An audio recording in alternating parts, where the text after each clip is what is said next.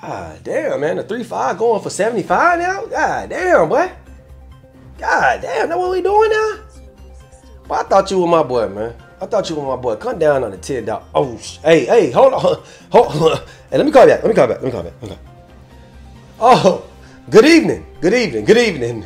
Welcome to the LaFlare Lounge News with it. Hey, man, listen. Make sure that y'all hit that like button. Make sure y'all hit that subscribe button. Now, let's talk about this, man.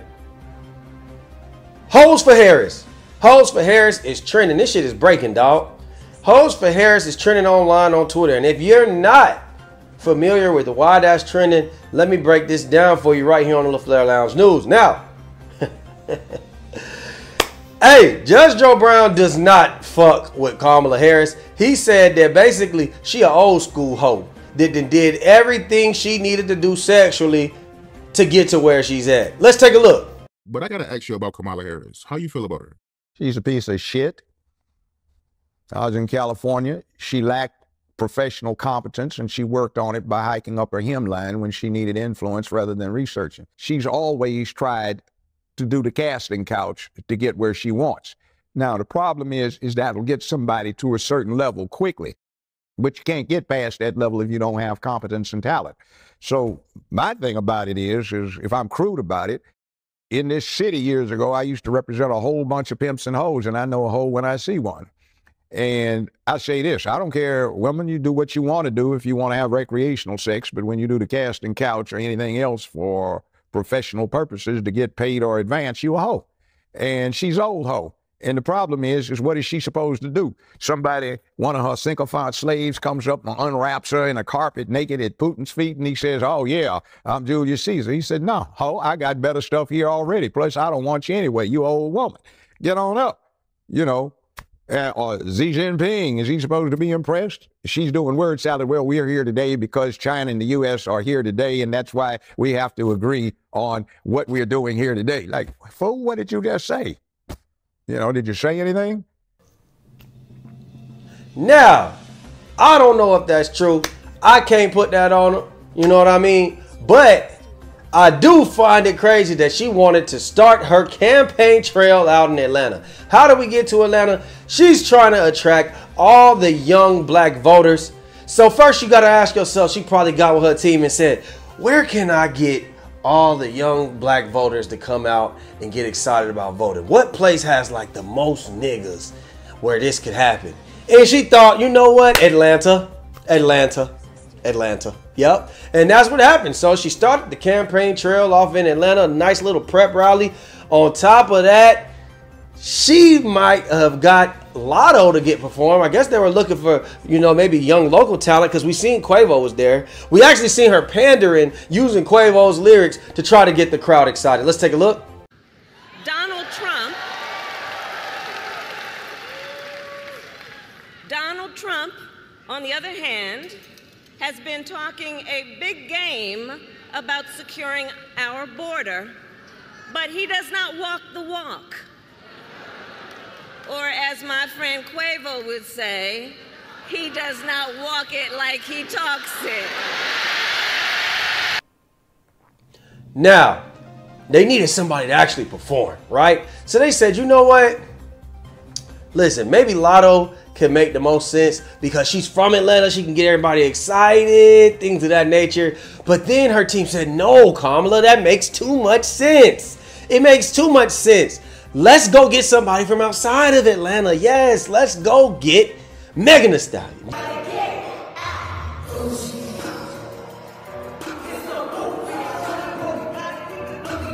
Yeah, there we go. Get Megan Thee Stallion.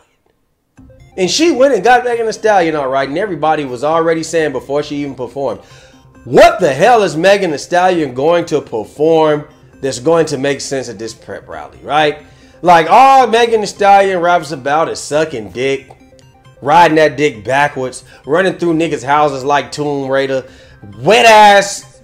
Yeah, that's the type of stuff that she raps about. Is this really the right place? But I'm assuming that maybe, just maybe, Kamala Harris thought that, you know what, it's to be a lot of young people in attendance.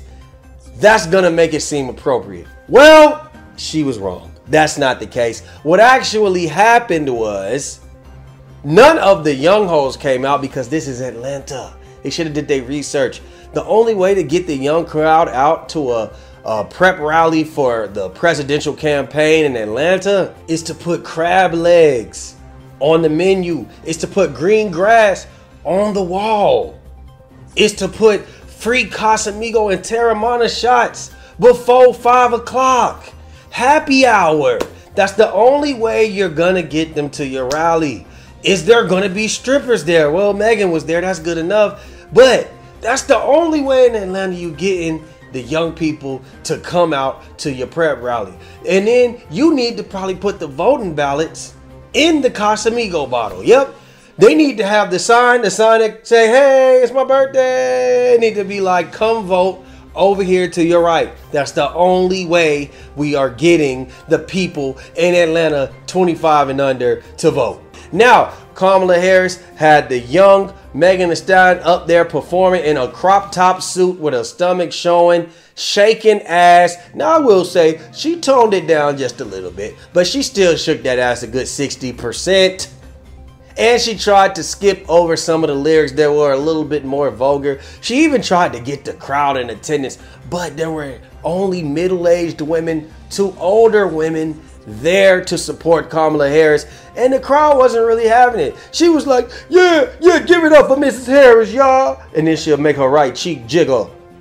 And yes, it didn't make sense. And being that the young folks don't come to the prep rallies, we were stuck with Miss Margaret's and Miss Myrtle's. Yes, they were there, and they was looking like, child, who is this tall, thick woman up there showing all her goods? Represent Miss Kamala?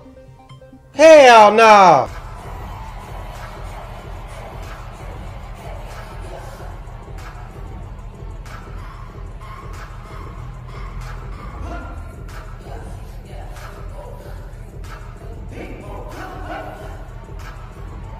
Now, even in the crowd, we would see them playing Not Like Us. And even all the Roswell Randys was in attendance and they was going crazy. What, what, what, what, what? And that's what happened. Now,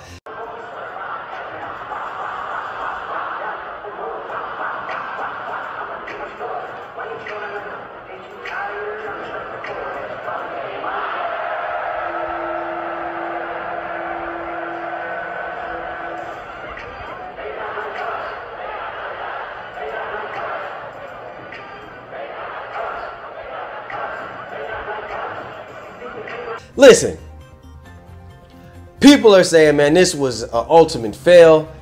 This didn't help her campaign. My thing is, did it hurt the campaign? Did it help the campaign? And let's refer this over to Big Just LaFlare over there at the LaFlare Lounge.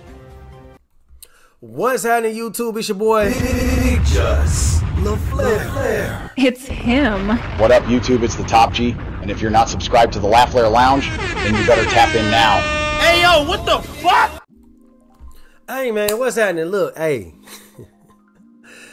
hey, man, y'all tried it. Y'all tried it. Come, I get it, man. Y'all tried it. I ain't even gonna knock y'all too much. Y'all tried it. Y'all did y'all best. Y'all tried to entertain the people. This ain't the first time that somebody that never put on a concert at a prep rally. I get it. And it's just funny to me, man, because when I look at when I first started voting, right, I was 18 in 2008, fresh out of high school. I had the privilege to vote for the first term for the first black president, Barack Obama. And those were my standards at the time. I was like, you know what? This just feels right. I can't believe that I'm I'm witnessing and I'm taking place and voting for our first black president. I know my grandma was proud. You know, I just felt good. You know, my grandma came from segregation and things like that. Like I remember when we were a classy world, he was going against what, like Mitt Romney. And I just remember they came up during the presidential debate, they shook hands. And just because they came from opposing sides didn't mean that they couldn't respect each other. And now we are living in different times. We have motherfuckers insulting each other. We got uh Kamala Harris saying you can't walk it like you talk it. We got President Trump. Niggas is trying to, the shooters is shooting. The pewters is pewting. We got people dying at the campaign rallies. Losing their families. This is a circus. And this is exactly why people were a little bit upset with Kamala Harris yesterday. It wasn't really the fact that it was like, oh, Megan Thee Stallion. It's because she's starting to participate in the circus, right? We don't have expectations for Donald Trump. We have expectations for Kamala Harris because she comes off as a black woman who cares about the community. And that's what we thought that was going to happen. And not that she doesn't, but she already got the allegations. They trying to say that she done put more black black men in jail. They saying that's why she got Megan Thee Stallion. They love both of them love putting innocent black men in jail. I don't know. I don't know. I don't know. But what I will say is it was tacky. At the minimum, it was tacky. And I'm only saying it because and I hate to do this, but it was just like you could have got somebody better to perform. Megan Thee Stallion, it's not because of who she is as a person, it's only because Megan Thee Stallion, her content is not going to help the situation. You're hiring a woman who raps about nothing but basically, I'll say 92% of her music is about prostitution, exchange for money, fucking for money, how wet her snatch is. Her music is not about any, there's nothing that she's put out that's motivated people to be like, you know what, I just want to be a better person. All she does is make music about sexual content. She sells sex. Now, I get it. I, I, Quavo was there. I probably would have preferred Quavo. And I get it. Y'all gonna be like, well, Quavo has said violent stuff in his rhymes. He's done this, doesn't. Hey, man, it's a double standard world, man. I'm gonna be honest with you. I'd rather hear handsome and wealthy than WAP, than body, yada, yada, yada, yada. He, she not, is, she's not even from Atlanta. She needs to be at the Houston campaign trail. You should have got somebody else, but I get it. It's last minute. She just put her name in on the ballot last minute because uh, Sleepy Joe had to get the hell out of there. So I get it, man. But learn from the mistakes, Kamala. This ain't it. That's all I'm gonna say. This ain't it. Now, what I will say is that you've learned your lesson. Now, when it comes down, when it comes down to basically the the campaign trail coming to the prep rallies, I don't know about other cities, but I could have told you Atlanta ain't ain't ain't really showing up. We don't show up to the Falcons games. We don't show up to nothing unless it's uh happy hour till eight o'clock. That's the only thing we show up to.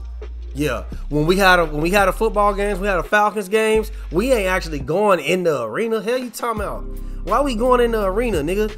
We gonna turn up Somebody gonna bring their TV outside. It's gonna be a barbecue grill out there, motherfucker. We gonna have shots of Casamigos, Teremana, Hennessy, uh, that type of stuff, and we gonna party outside. And then we going to the strip club after, and we going to Strokers, we going to Pinups, we going to Magic City, we going to uh, uh, any type of lounge. It's a lounge on every single block in Atlanta, right? So this is what I'm saying. Like, what I she didn't know, she don't know the inner workings of Atlanta. You feel me? So what I'm saying is that she need, she should have basically tapped in with some people because we all know the people that's going to the campaign rallies are the middle-aged people. It's the Margarets, it's the Jeans, it's the Carries. Those are the type of people. That's why they was looking like, who the hell is this young, tall woman shaking her ass? Ooh, child. This look like my grandchild. That's what that was. They not the ones that's coming to the campaign. The, the Megan Thee Stallion fans aren't coming to the campaign, bro. We, we she just came to Atlanta. Nobody cares. So if we just being real, listen, if you want to attract the black voters, I don't think that getting Megan Thee Stallion or you got to get the proper entertainment and just hope that they come. Shout out to Roswell Randy, he was there. Um, but yeah, we just gotta make things make sense. That's all that I'm asking. But I don't think this hurts her campaign. I think that the young people is coming to vote regardless, and that's the situation. But I do understand too, this is 2024. The campaign trail isn't just classy anymore. This is a new generation. They know this generation is a little y'all a little slow. All y'all internet babies and stuff, like y'all was raised only to the internet.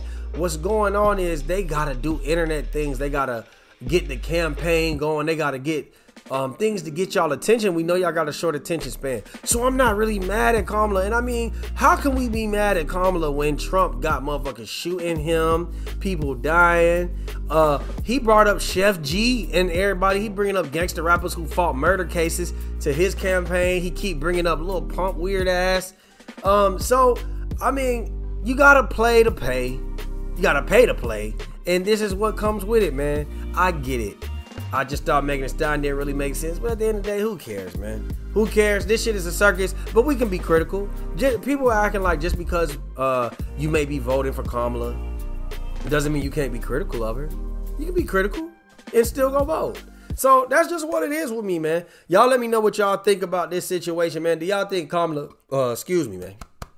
That yike. Um, do y'all think that Kamala was making the right decisions? Or do y'all think that yeah, mm, yeah, yeah. Y'all let me know what y'all think, man. Like, share, subscribe, comment, hit that notification bell, and we out, baby. Boom. You are now tuned in to the LaFlare Lounge with your host, Big Just LaFlare. Motherfucker. You are watching a master at work.